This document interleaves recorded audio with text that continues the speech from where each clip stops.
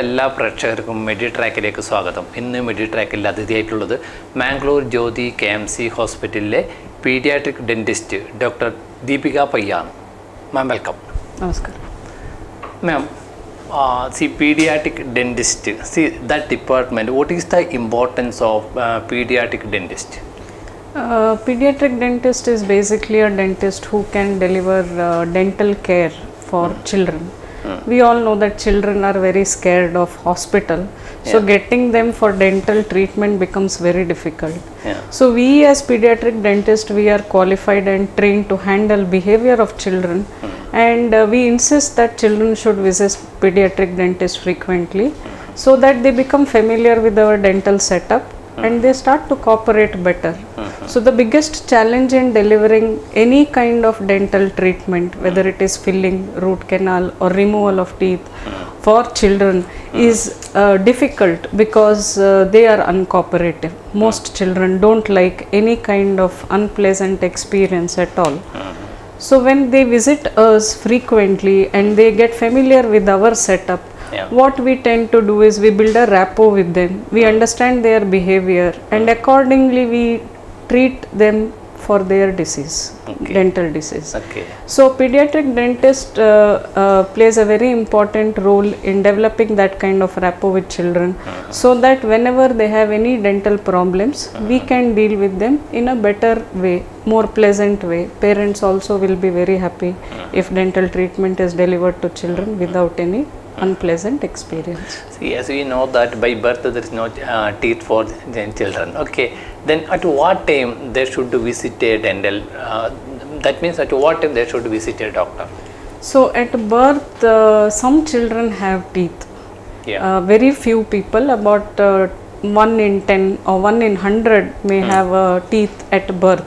Now these teeth can cause problem during feeding and uh, may get swallowed and can cause any complication. So we as pediatric dentist uh, we also remove these teeth so uh-huh. that the child can feed better uh-huh. and mother and child are both comfortable. Uh-huh. Now when the teeth erupts into the oral cavity that is maybe some children get their first teeth by 6 months some children get their first teeth by 1 year. So generally by the first birthday all children will have one or the other teeth in their mouth Uh-huh. so what we recommend is that parents should visit the pediatric dentist uh-huh. as soon as the first teeth appears in the oral uh-huh. cavity. Now what we do during this visit is we tell the parent how they can clean the teeth Yeah. because the most important uh, factor that can cause any dental problem whether is uh, whether it is cavities in children or later on it could be uh, any other dental problem all of that starts because we don't clean the teeth properly. Okay. so we tell the parent how they can clean the teeth. And uh, even with one or two teeth in mouth we teach them how to clean the teeth. Because e- even it is one or two teeth in mouth. That that time itself we should start the cleaning. cleaning Yeah, and that see- is very difficult to do for parents Yeah. because they So have actually, if parent uh, doesn't have any idea about how to clean or properly or scientifically how to clean the teeth scientifically. So different dental aids are available. Hmm. If there is one or two teeth, the hmm. mouth is very small. The parent is very apprehensive. Can I put my hand inside the mouth? Yeah. Or will it cause any infection? Hmm. So we tell them what dental aids can be used to clean the teeth. There are dental wipes, there are finger brushes. The other challenge most parents feel is that the child is moving all the time, the child is so small. How can we make them stand and brush for one or two minutes? So, we as pediatric dentists can tell them different positions that the child and parent can take so that they can uh, accomplish toothbrushing more easily, more effectively, so that they don't cause any dental caries for the child. See, see ma'am, br- regarding brushing, I think that parents have an idea. But see, when you just in uh, that uh, just inform that uh, when the uh, child has two or two, three teeth, that time what kind of brush we should use? Whether it is needed brush or just use of using finger we can clean the teeth. So, uh, what I generally recommend is that uh, parents should brush the teeth, whether it is one teeth or two teeth. Mm-hmm. And especially if the child is being fed in the night and put to sleep, I mm-hmm. always say that you brush the teeth, mm-hmm. wipe the teeth, and put the child to sleep. So, usually, when small teeth portions are erupted. What we recommend use of tooth wipes. Mm-hmm. There is something called tooth wipes. Mm-hmm. So that can just be wrapped around the parent's uh, finger mm-hmm. and can teeth can be cleaned with that. When more than 3 or 4 teeth are erupted and the child is grown little big the mouth can open little more there is something called as finger brush which can be inserted on the finger of the parent on the finger. So they can easily brush and clean the teeth effectively Okay. so these two things we usually recommend for children less than one year of age Okay. so when child becomes more than one year one to two years they can use a junior toothbrush with Okay. small head soft bristles Soft brush. yes Okay. yes. See, see, ma'am, after see which age onwards, that means which age group onwards, uh, the problems will be more. And when you are observing the teeth, children's teeth, then you can see that when you are observing that, uh, which age onwards you will get the problems are more complicated regarding. So what happens is when the child is growing and Yeah. he comes to two or three years of age, Yeah. usually children go to preschool or a play school. Now what happens is parents have to pack some snacks and midday meals or something. So usually parents uh, uh, pack uh, some food items like cookies or uh, pastries or these kind of things which can cause cavity to them. Yeah. And when they return back, by then there are too much of time has elapsed from the time they have eaten they have not brushed their teeth. So usually between 2 to 4 years we see that a lot of children have cavities. Mm-hmm. And this is mainly because of the snacking habit that is present in children mm. where- as they go to school. Okay. when they are at home even if they eat something the parent is there after them to tell them go and gargle Yeah, your mouth yeah. which does not happen most of the time in mm. school. Mm-hmm. Because of which we see that there is too much caries. Mm. Another age group is at the age of one years hmm. or one and a half years. Hmm. So here what is happening is the mother is putting the child to sleep hmm. after feeding Yeah. because the mother is also tired. She also Yeah, wants to sleep. The Yeah. child also has to sleep. Hmm. So what the parent does is the parent i mean the mother feeds the child Yeah. and puts the child directly to sleep without cleaning the teeth. Yeah. now the problem starts with this where hmm. the child is uh, sleeping with milk which is stagnating on the teeth hmm. which causes something called as early childhood caries. so at one year it is because of improper feeding habit and no oral hygiene that is followed at mm-hmm. bedtime. Mm-hmm. If you see the 2 and 3 year old group age group it is because of snacking at play school or preschool. Okay. like that when the child becomes 6 year old mm-hmm. most parents are unaware that there is a permanent molar which has erupted the uh, children have two set of teeth. One is the milk teeth Yeah. which starts by 6 months and by 3 year, uh, uh, 2 years children have most of the milk teeth. But the first permanent molar erupts at the age of 6 years and it is erupting right at the back of your mouth. Okay. So parents think that permanent teeth is coming only when the front teeth has Yeah. fallen and come. Yeah. so most parents tend to ignore oral hygiene or mm. brushing mm. at the last tooth because the child is not cooperative by 6 Yeah. years. Child wants to brush independently. Mm-hmm. Now parents are also giving them that autonomy that you brush your teeth. Mm-hmm. Parents are busy with the second child mm-hmm. or their own household course. So what happens is that uh, the uh, first molar which has erupted right at the back there a lot of food gets accumulated and this tooth becomes carious Okay. so the second age, uh, first we said one and a half years or one years. Second is second two and three years. The third peak of caries incidence we see is at six years. Okay. That is because of unaware parents are unaware that the first permanent molar is erupted. Then onwards, again you will see at uh, nine to ten years because there is an exchange of uh, milk teeth to permanent teeth. So the milk teeth fall and permanent teeth erupt in its Excuse me, place. ma'am, one, one doubt. What is the importance of milk teeth? milk teeth uh, most parents think that when there is cavity in milk teeth we can just ignore it Yeah. because anyway they are Yeah, going to fall correct. away now uh, it is very important to treat milk teeth for few reasons. First reason is when the teeth has cavity children don't eat food properly because it is painful. And because of that what happens is uh, uh, the child's nutrition becomes poor. Uh-huh. Child's growth gets affected. Uh-huh. Child has pain and misses school very often. Uh-huh. So it can affect their schooling and academics learning. Also it can cause problem in their oral cavity to the extent that they may not be brushing the teeth at all because it is painful. Mm-hmm. Also uh, children who have lot of cavities in their childhood they mm-hmm. tend to be irritated all the time. Mm-hmm. Now these milk teeth if they are filled at the right time when they have cavities children tend to enjoy their childhood grow well. Besides all this the primary teeth has two important functions. One is to develop speech Okay. like i told you two or three year old when they have multiple cavities hmm. their speech also gets affected. Hmm, hmm. They can't pronounce the uh, few words very clearly. Second thing is this milk teeth has to remain till the permanent teeth occupy their space. In case these milk teeth are lost prematurely because of cavities they become into pieces and uh, they are gone away. So what happens is the space that is required for the permanent teeth to erupt gets closed Okay. so the milk teeth is like a shell which is keeping the space for the permanent teeth to occupy later in future. Okay. So if you ignore the problems of milk teeth, mm-hmm. you are definitely going to ignore the child uh, child's permanent teeth. So definitely we see that when parents have not treated uh, children with uh, dental caries in milk teeth, we see a lot of them having uh, crowded teeth in permanent dentition because the space has become closed. Okay. See, see, see, after getting permanent teeth, we can see that some, uh, see some children have the uh, teeth are positioned in badly. Yeah. In such a case, how to what kind of treatments are given? Yes.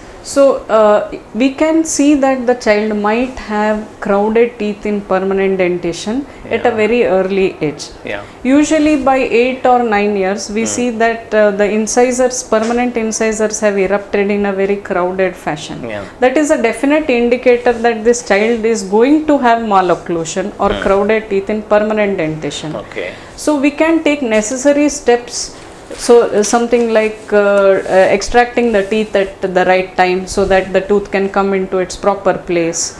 Or we can s- we also see that some patients have uh, different oral habits. Like some children suck their thumb because of which the teeth gets uh, projected forwards. Yeah. So these uh, things, if we catch them very early, they can be intercepted so that the child does not have a very badly placed teeth or a very crowded or a very projected teeth, which Okay. most children and tend to have.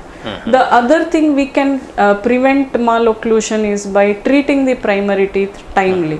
Okay. Like I told you that if there is cavities and we don't treat them, the teeth are lost, the jaw becomes smaller and the permanent teeth does not have space for the uh, for it to erupt because of which obviously they will end up with crowded teeth or malocclusion. Okay. See, another thing is accidentally happens. See, mm, when fallen the children, that time what happened? Broken teeth. We can see that.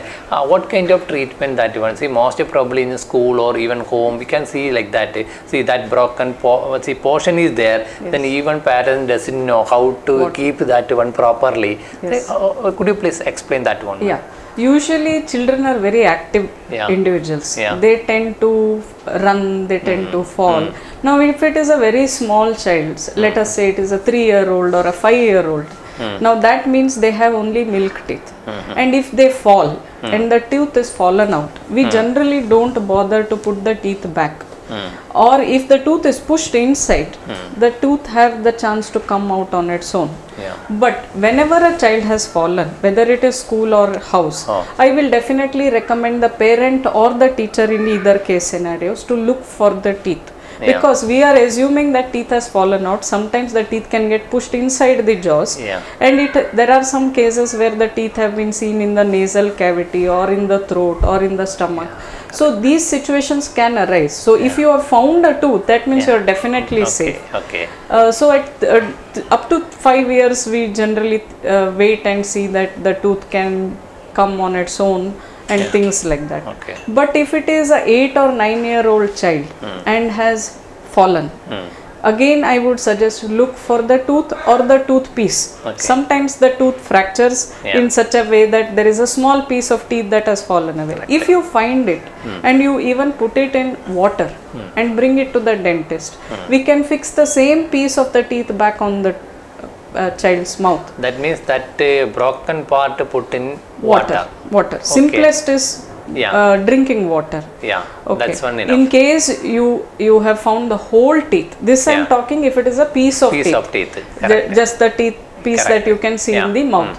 But sometimes what happens is uh, usually when yeah, they play in the yeah. playground, the whole teeth comes will- out. okay. And if you find that whole teeth, Yeah. you can either put it in milk. Take a packet of milk Okay. uh, and just pop the teeth inside the packet, seal the packet and bring. Bring it down. or you can even keep it in a bowl or a jar with hmm. water hmm. tender coconut water hmm. anything. Basically we don't want the teeth to become dry. Okay. so you can put it in a liquid like milk or tender coconut or plain water. Or if uh, if there is a primary healthcare center close by or if the school has an infirmary then you can also place it in saline Okay. so but this needs to reach the dentist at least 60 minutes from the time it has fallen out okay. of course, there is a chance for us to put the teeth back into the mouth, but if it is before 60 minutes, there, there is a very good chance that the tooth becomes normal. Very good result you will get. Yes. See, see ma'am, after that this portion is uh, fixing there or whole teeth fixing there. See, after fixed it, uh, what kind of result? How much will be the result? Is it uh, properly working or before? uh, What is happening? What kind All of that depends on the age at which this has occurred. Yeah. Usually, it is the front teeth which pops out. Yeah. So, if it is before uh, 10 years, Hmm. then there are chances that the treatment process will take very long. Hmm. But if it is after 10 years, we say that the root apex is closed, Yeah. then the treatment duration is less. But Okay. if the tooth is brought in a solution and not dry, Hmm.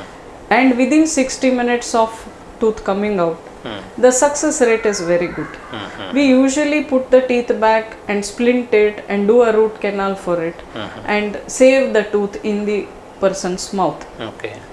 And the success is very good. Okay. See, this, when the portion of teeth is fixing there or pasted there, that uh, after one or two years we can see that there is a color changes are going. Why it is happening? So sometimes what happens is the tooth a piece which is brought was brought dry. Yeah. In such cases, this kind of discoloration can happen. Mm-hmm. If it is brought in any solution and it is not allowed to dry. It may not happen. Hmm. The other reason is whenever teeth fractures, Mm. to human eye we can only see some portion. Mm-hmm. There will be some micro cracks that are hmm. leading to a tissue called pulp, which is the only vital tissue in the tooth.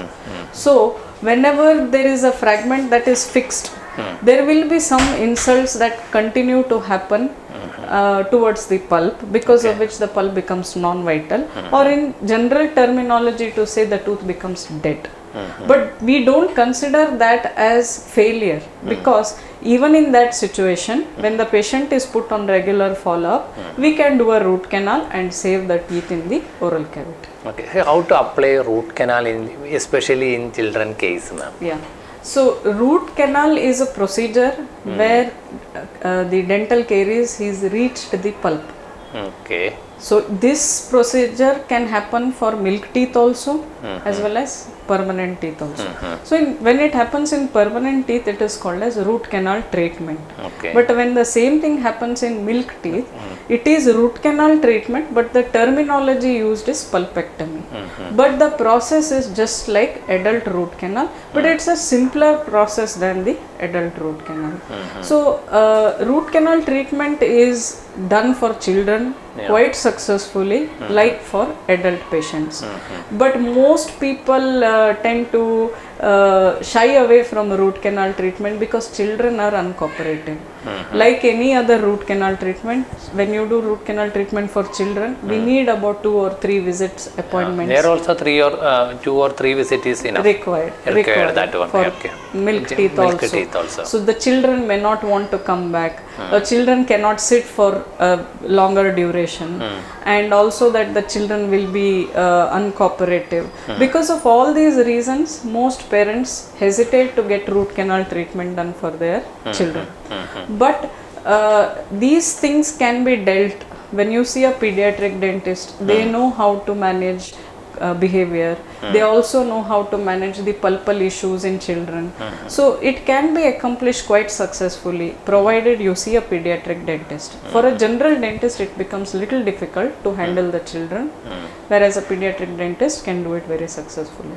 See, ma'am, we, we heard that uh, chewing gum helps us uh, to uh, reduce the tooth decay. Hmm. Is it any scientific support that one, or simply saying uh, chewing gum when we are using chewing gum? usually what we do is uh, hmm. like I told you there is there is a disease process called as early childhood caries. Hmm. So when early childhood caries is seen in children, lot of teeth are decayed. So the saliva also has a lot of microorganisms that can cause further decay in other teeth in their mouth.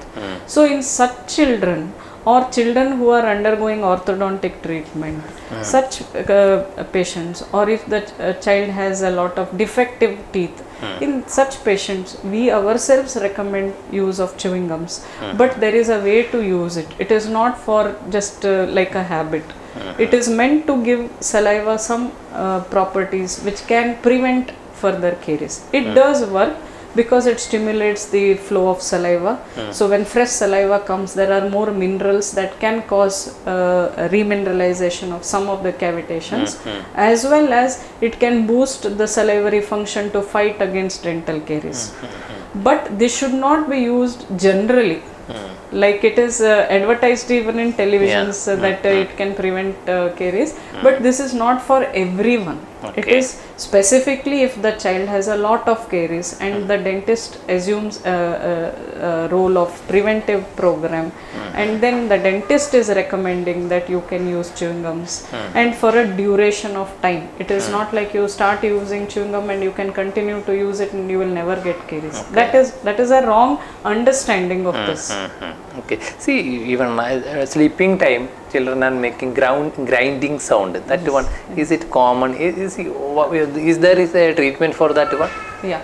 So this has become a very common problem, not just in children, even in adults, where there is a grinding of teeth. And this so uh, most probably this this sound will uh, producing only in sleeping time. ma'am. yes, yes. Is no, uh, uh, other- individuals do chew their teeth and grind their teeth uh, in the daytime, Yeah. but uh, when you are in sleep, Yeah. uh, it is it becomes so annoying that either the parent sleeping by the side of the Yeah, child correct. says that I can hear a lot of noise. I'm worried whether the teeth will fracture. Uh, it can happen, and uh, this is sometimes uh, attributed to the school and school stress also.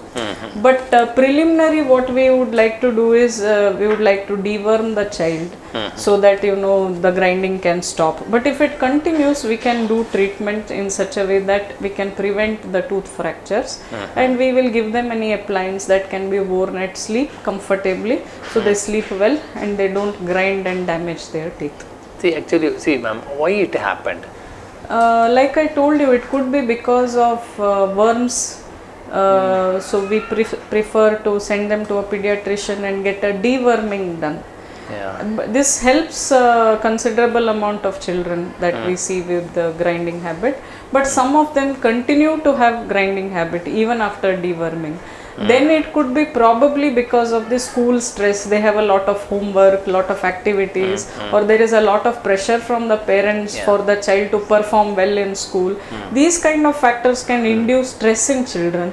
Although it appears that how can children be stressed, but these days we see a lot of children having such kind of stress, and because of which they manifest as uh, uh, grinding habit in children. Okay, see, we have discussed, so far we have discussed uh, uh, various types of decay and its treatment. See, actually, how to protect the teeth, ma'am. Yeah. So that is the most important thing. Most of the dental caries that we see in all our uh, population is preventable. So if you want to prevent having dental caries, there are just two or three important things that one needs to follow. It is first important thing is what are you eating? Hmm. If you are eating too many things continuously, hmm. or if you are eating chocolates and biscuits very frequently, confectionaries, hmm. such food can damage the teeth. If you are consuming a lot of cola or beverages, uh, carbonated beverages, they tend to damage your teeth. So, one component is about what we eat. The next thing is what we do after eating. Okay. So after eating any food, if the person is into a habit of gargling the mouth, hmm. swishing the mouth, even Okay. with plain water, hmm. and uh, uh, additionally good if one can brush their Okay. teeth and maintain good oral hygiene then we will not see dental caries. Okay. but in small children what happens is for reasons uh, uh, numerous they don't brush their teeth well. Properly. Okay. and they they have to go to school for 6 hours. Parents can't pack too many tiffins or uh, uh, you know they have different kinds of snacks. They share snacks at school. So uh, when we have situations like this we, uh, neither the diet nor the oral hygiene is completely under the control of parents hmm. or at school. In such situations i recommend that the children are brought to pediatric dentist hmm. because we can do something called as fluoride treatment which is hmm. done uh, depending upon the type of cavities the child has or depending upon the oral hygiene the child can maintain. So we have an agent called as fluoride which can considerably reduce the amount of caries in children which we apply in our clinics for children so that they can benefit from not having caries. Okay. See, ma'am. See, we can see that uh, there are children are children are mentally retarded. See, actually, they cannot uh, frequently come and visit the doctor. Such a situation, how to give the treatment? Okay. So we see that uh, there are several conditions in childhood, like one of which you said, mental retardation, because of which children don't even go to normal schools. They go to special schools. Yeah. So we consider these children specially abled. Now they cannot maintain good oral hygiene because they lack that kind of men- um, mental de- uh, IQ or hmm. they even lack manual dexterity. Hmm. So in such patients, when you visit a pediatric dentist, the first thing they do is they can do all the dental treatment for these kind of children hmm. under general anesthesia. So when the child is put under general anesthesia, their total oral rehabilitation can be done. But thereafter, they are going back to their own condition for the rest of their life. So what we do as pediatric dentist is that we will advocate some oral hygiene method that is suitable for every different condition. Okay. So we we will tell uh, tell the parent to use different kinds of oral hygiene aids suitable for their child so that they can maintain oral hygiene so they can prevent further dental problems for these kind of children. We can uh, we also see that there are some children who are very uh, badly behaved Uh-huh. or they are absolutely not cooperative for dental treatment but they uh-huh. have a lot of root canal treatments to be done. So uh-huh. it becomes very challenging for us also to deliver uh, treatment at times. We also can do uh, dental treatment for these patients under general anesthesia. So all their dental problems can be addressed at one visit so if uh, any patient uh, finds it difficult to uh, come frequently to dentist or if the child is uncooperative or has any medical underlying condition because of which they cannot uh, take uh, dental treatment frequently all these treatments can be done under general anesthesia okay മെഡി ട്രാക്കിൻ്റെ ഇന്നത്തെ episode ഇവിടെ wind up ചെയ്യുകയാണ് ഈ എപ്പിസോഡിൽ പ്രേക്ഷകരോട് സംസാരിച്ചത് ആ, Mangalore Jyothi K M C ഹോസ്പിറ്റലിലെ പീഡിയാട്രിക് ഡെൻറ്റിസ്റ്റ് ഡോക്ടർ ദീപിക പയ്യാണ് എല്ലാ പ്രേക്ഷകർക്കും നന്ദി നമസ്കാരം. Thank you ma'am namaskar